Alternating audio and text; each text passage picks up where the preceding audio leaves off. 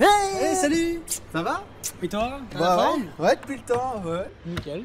Bon, euh, bienvenue les amis bouleurs dans ce nouveau test drive du mois d'avril. Qu'est-ce qu'on a de beau euh, à tester, Jérôme? Alors, on a la méthode solide, la Quantum Gas Pearl, la Ludicrous solide et la Conspiracy Pearl. Bon, joli, tout ça. Sébastien, au boulot. Allez, c'est à moi de travailler.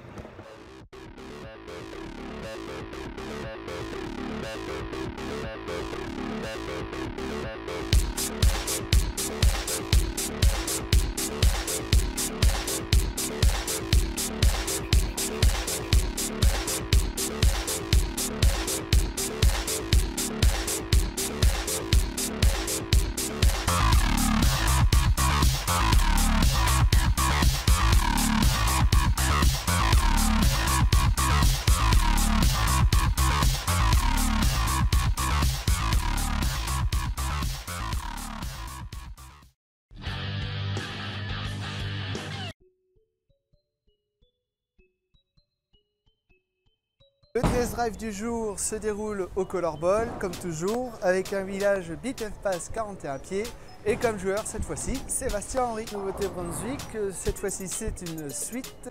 D'abord la méthode euh, hybride et ensuite euh, celle-ci, la méthode solide. Donc elle a un noyau magnitude 0,55. La coque, euh, c'est une coque euh, solide. Un RG de 2,49 et un différentiel de 0,055. Place au test de la méthode. Donc, euh, premier ressenti, bah, c'est- ça suit un peu le même état d'esprit que la méthode hybride. hein. donc, euh, une boule euh, très roulante, plutôt euh, une forme d'arc sur la piste euh, qui finira quand même à la fin. hein. Comparé à ceux qui ont connu la méthode hybride, qui, était quand même assez forte en fin de piste. Celle-ci est assez douce dans le sens et plutôt, euh, crée plutôt un arc sur la piste. Donc des boules très stables, très roulantes, très faciles à jouer. Après, euh, à jouer la boule en fonction de la piste demandée, euh, sachant que comme c'était marqué dans la catégorie height, on peut s'adapter à la plupart des villages. Il faudra juste éventuellement adapter la finition de la surface.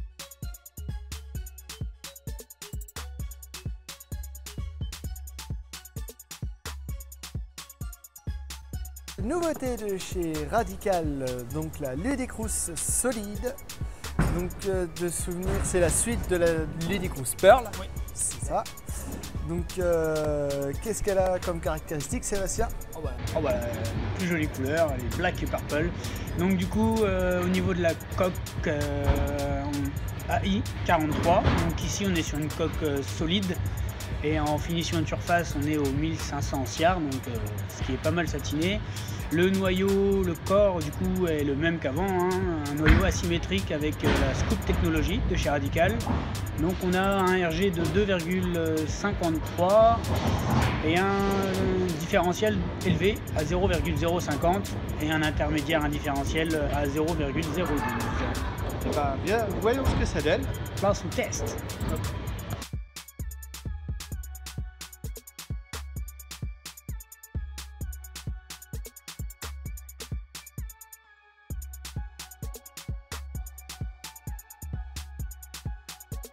Au niveau du ressenti, bah, la Ludicrous solide, euh, moi je l'ai juste trouvé énorme euh, dès les premières boules testées. Puis bah, on peut faire la pub comme quoi j'ai fait 300 au moins des gros changes avec ça. Donc euh, j'ai bien, j'ai bien aimé la boule. Ce qui est vraiment sympa, c'est que comme la finition de la boule est, est assez satinée, donc on retrouve une coque accrochante, roulante, stable, facile à jouer. Mais c'est pas une boule qui aura tendance à trop s'épuiser. C'est quand même une boule, une boule qu'on va retrouver à un bon crochet en fin de piste. Donc pour une boule satinée, c'est pas mal intéressant.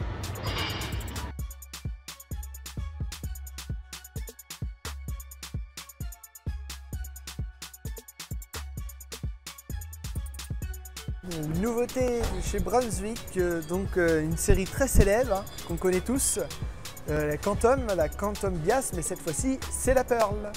Donc elle a un noyau Quantum asymétrique, une coque Pearl cette fois-ci, un RG de 2,56, un différentiel de 0,052 et d'un asymétrique 0,013.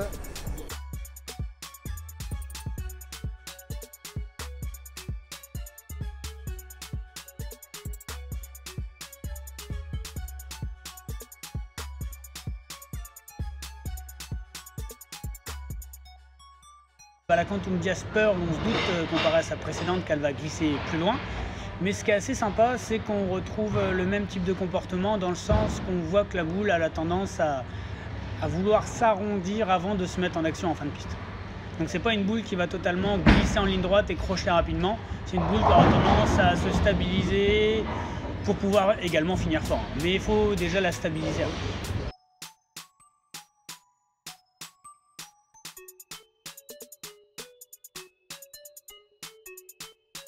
La Conspiracy Pearl. Je vous rappelle lors du test drive précédent que nous avons pu tester la première Conspiracy, donc euh, la solide. Euh, c'était une boule topissime et pour ma part c'était ma boule préférée du test drive. Elle était vraiment excellente comme boule. Elle a toujours un noyau asymétrique avec la technologie Dynamicor. Elle a une coque Pearl cette fois-ci. Euh, elle a un RG de 2,48, un différentiel de 0,056, un asymétrie de 0,021.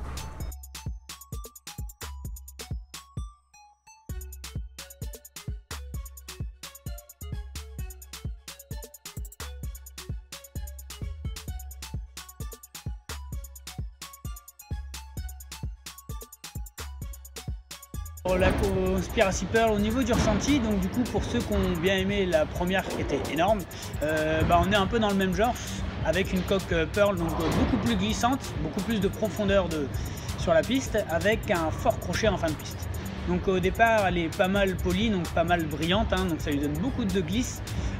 je pense qu'elle commence à être pas mal à partir du moment que le, ce commence un peu à se poser. la boule est juste énorme.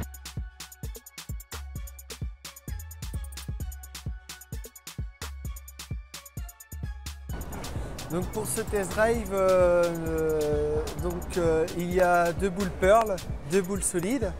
Et donc nous avons décidé de faire des comparaisons, donc une comparaison avec les solides et une comparaison avec les Pearl. Yes. On commence par la comparaison de la méthode solide et de la Duty Cruise solide. Toutes les deux des boules très roulantes qui vont accrocher assez tôt, donc ils vont se stabiliser assez tôt, plutôt bien pour les pistes qui a quand même un petit peu d'huile. Hein ou moyennement de l'huile. Et en forme de trajectoire, pour comparer, la méthode aura plus une trajectoire euh, un peu plus arc et la Ludicro solide aura un plus fort crochet en fin de piste. Du coup, euh, on, joue, on, joue, les mêmes lignes de jeu et on voit que la Ludicro solide finit pleine gueule. Et euh, du coup, la deuxième comparaison, c'est la. Donc nous avons également comparé euh, la Conspiracy Pearl et la Quantum Gas Pearl. Donc ça donne quoi? Alors du coup, bah, les deux boules, donc en les jouant au même endroit, on retrouve la Quantum Gas Pearl euh, qui est assez prévisible et facile à gérer, un comportement plutôt prévisible sur la piste avec un crochet quand même à la fin. Et euh, je me mets exactement au même endroit avec la Conspiracy Peur et du coup elle retrouve un plus fort crochet en fin de piste. Du coup euh, ça se voit dans la réaction. Donc euh, Quantum Gas plutôt stable qui finit, un arrondi qui finit et la Conspiracy Pearl un, plutôt un crochet rapide en fin de piste. Sébastien, toi qui as pu comparer la Quantum Gas solide, donc la blanche, et la Quantum Gas Pearl, la bleue, qu'est-ce que tu peux nous en dire? Euh, bah, comme, euh, comme j'ai dit, le ressenti, on a, en termes de comportement, on a similairement la même chose. On imagine une sorte d'arrondi en milieu de piste pour pouvoir finir très fort. Et du coup, bah, la solide, euh, comme elle est satinée de base, elle aura tendance à rouler énormément tôt. Et du coup, bah, la Quantum Jasper aura tendance à glisser beaucoup plus. Donc à équivalent, pour avoir la même forme de trajectoire Quantum Gas blanche sur des conditions plutôt huilées et sur des conditions plus sèches, on peut retrouver un peu ce comportement euh, avec la Quantum Jasper. Donc ça se complète vraiment bien. Fin du test drive, merci d'avoir regardé la vidéo. Ouais, donc euh, on remercie le groupe Valk avec euh, Dimitri et Tony de nous envoyer les boules, de pouvoir les tester pour vous faire les démonstrations. On remercie également le Colorball de nous avoir mis à disposition des pistes huilées. Et on vous dit à la prochaine dans, une prochaine vidéo. Ciao. Salut